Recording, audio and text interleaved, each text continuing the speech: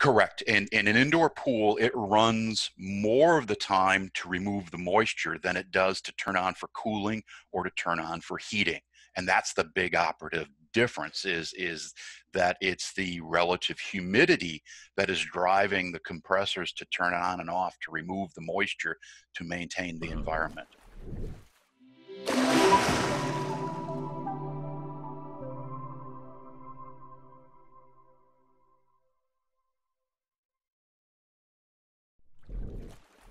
Hey, everybody, my name is Eric Knight. Welcome back to the Natatorium Knowledge channel. I'm with Orenda Technologies, and today we are going to be talking about indoor pool dehumidification, air physics, and basically how an indoor pool's airborne environment is actually treated. And uh, as always, we try to get the most qualified subject matter experts on this channel. And today we are honored to have the president of Desert Aire Dehumidification Company, Keith Coursin. Keith, thank you for being here.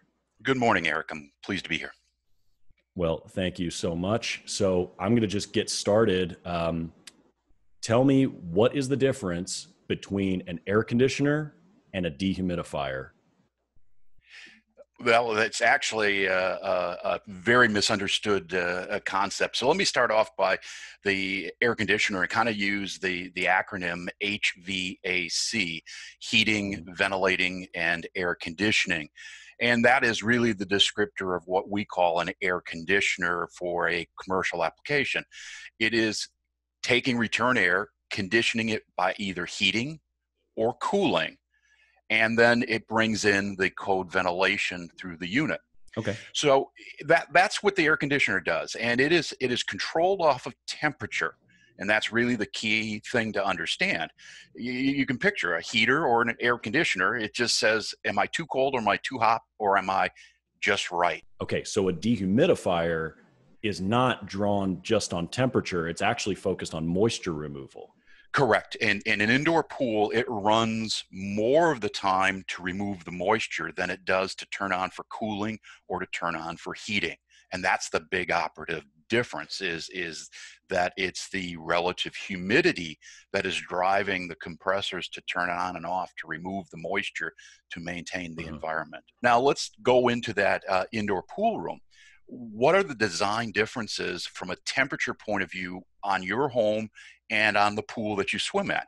Your home, you're going to have 72 degrees, 74 degrees, and then relative humidity is down around 50%, 45%. You're comfortable. And that's the day in and day out conditions. And in wintertime, the heater comes on to make sure it stays up there. In an indoor pool room, we're at 82, 85, 86 degrees, and we're up at 60% relative humidity. There is a sizable element difference between those environments. If you've got a 2,000, 2,500 square foot home, your air conditioner is going to be in a, a rating, a nominal size of two to three tons. And that's going to be pretty mm-hmm. much across the board. When you look at a pool, even if we talk about a small hotel pool, we're starting off at eight, 10 tons as the starting point. And then as you go up to your swim clubs for your uh, major meets and that, mm-hmm. we're talking in the hundreds of tons. And uh, one of the things that is the major difference, if you physically look at uh, the two systems, when, when we talk about air conditioning, we cool the air down and we deliver this mm-hmm. cold air. Um, right. In a in a pool room, as you're dehumidifying, you're still cooling the air, but yet we have this 85 degree environment. We don't want to take that 85 degree environment and make the swimmers be coming out of the pool at 75 degrees or 72 degrees. Yeah, you're yeah, shaking your I, head. I can, you can already I can vouch as a swimmer. I, when the air temperature goes down too much, my teeth will chatter because evaporative cooling. Hey, I know that term from you. So evaporative cooling on my skin it's cold. Okay, so, so again, well, one of the big differences is that we we don't want to overcool the air. So we have right. in in uh, the the technical terms we call it a hot gas reheat coil. But in your air conditioner at home, you have this element that sits outside, and the right. heat is taken from the inside and pushed to out. and blown out, and that's called a, a condenser. But it's outdoors.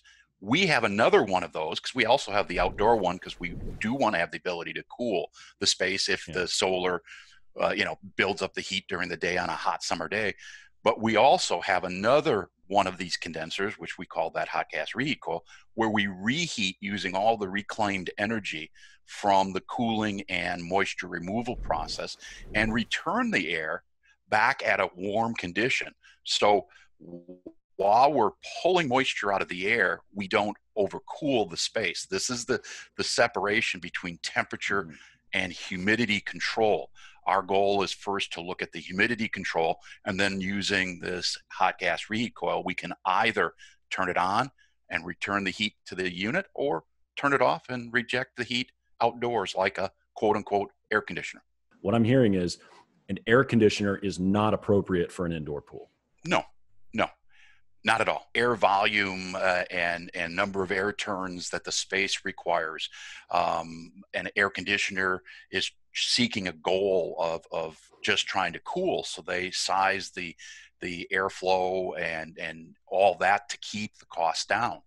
And mm-hmm. I, I will tell you that a lot of contractors who have never seen a pool dehumidifier, whether that be at a hotel level or up on that big, large natatorium that you're talking about, when they open up the box for the first time, they see these pipes going everywhere. And all of that added into this box, including reclaim coils to bring heat to the pool water. Because mm-hmm. if I can grab that energy that came from the pool and return it to the pool rather than reject it outdoors, I help pay for it in an operational cost savings that doesn't exist with a standard air conditioner. Everybody says, well, it's more expensive. Yeah, uh, you know, it has a huge engine in it. So why does that turbocharged car cost more than the four cylinder? Because I got a lot more in it. I personally have seen a lot of natatoriums vast majority of them do have a pool dehumidifier. So I'll say that. But I have seen several, I mean, at least a dozen that had air conditioners on it and they had nothing but problems. So is that, uh, are they rejecting enough air? Are they bringing enough outside air on air conditioners, you think? Or what, where uh, are they falling short? Is it just moisture removal? It is the, the mo- moisture removal is the key is it's an air conditioner has been sized to cool the air at the most efficient way. And these are some of the mm-hmm. Department of Energy codes. A dehumidifier is sized to remove moisture, and those are design elements internal to the machines themselves. So, an air conditioner has a rating for cooling, a dehumidifier has a moisture removal efficiency for removal of moisture. So, same size quote unquote compressor, we mo- remove more moisture than the air conditioner with that same compressor in it. And so, first of all, they're not removing enough moisture. Second of all, their air volume that the machine delivers is probably half the amount that's needed for the proper turns within the space so they get stratification. And so when you you look at those fundamental differences that's why an air conditioner doesn't have a prayer's chance of successfully maintaining the environment within that pool facility. It's not designed to do that work what is your recommendation as a pool dehumidification expert? How do you recommend they go about making sure that their next unit, whether it's a new one or a replacement one, is sized properly for their pool? Well, the the dehumidification community has worked with our engineering society, the American Society of Heating, Ventilating, Air Conditioning Engineers, ASHRAE, and we have detailed the sizing of a pool environment. And so, first of all, the technical uh, engineers on this call, they need to go to the ASHRAE handbook and find out this, or call up any of the manufacturers and, and we guide them through it. But you have to calculate the load first. And the load I'm talking about is moisture load. I have mm-hmm. find very few pools that once you've sized the moisture load, the air conditioning load is more. That is just absolutely not happening unless you have a glass domed, uh, all glass structure. And there are a couple of them out well, there. Hey, I've seen, I've swam in one, and I got to tell you, as pretty as it was, it was miserable to swim in because and, and there's, there's obvious reason and a lot of reasons from a swimmer's that. perspective. Yeah, well, but okay, then so so we, we need to, to size the moisture load, and once you have that, and you know the piece of equipment has the ability to remove that amount of moisture, I wanted to say you're you're you're more than halfway home. Now mm-hmm. you, you want to find out all the systems that reclaim the most energy, deliver the, the appropriate ventilation air, and do all the things uh, that the, the thing. And, and it's it's really duct design comes into this play, which is not the manufacturer. That's the engineer contractor. That's where I come in. that's where I come in. I help engineers just like you do to make sure that the air, once it's coming from the unit, I don't know how to size a unit, but every time we've worked with you or with any of the other manufacturers, our purpose is to help engineers aim the air in the correct directions. Correct. I leave the sizing to you guys. As long as you're giving the right quality of air through the duct, I help engineers aim it. Um, so, is a pool dehumidifier able to improve the air quality by itself? By itself, it's a major component, but it is a component. The duct design has to be correct we have to take a look at uh, the uh, chemical release, the chloramine release, and make sure that we're getting. And so the the industry's kind of turned itself around in the last five years and are, are recommending these low exhaust systems and that's a whole other video by itself but the combination of the right size hvac and dehumidifier i call it the mm-hmm. hvacd the right design ductwork the right ventilation load and the source capture. We do all that correctly. These environments are great. Mm-hmm. Do screw up any one of them, yeah. you're going to have a problem. And then Orenda being on the water side of things, um, there's similar parameters that you want secondary systems like an ozone, properly sized ozone or UV to help with that. You have to have proper chlorination, you have to have proper filtration, proper chemistry, but it's a system and that's the point i wanted to hear from an expert not just my opinion because i write about it all the time but uh, it really is a system. And i've seen very successful natatoriums that don't have the state of the art anything. They just have it properly designed and it gets the job done. So keith any final comments? Uh, i'm really grateful for your time. Anything you want to add before we go no, the the one thing that I always uh, in, enjoy when somebody says, uh, "Hey, how how do you dehumidify a pool room?" I always remind them, you never dehumidify a pool room because the moisture is always releasing.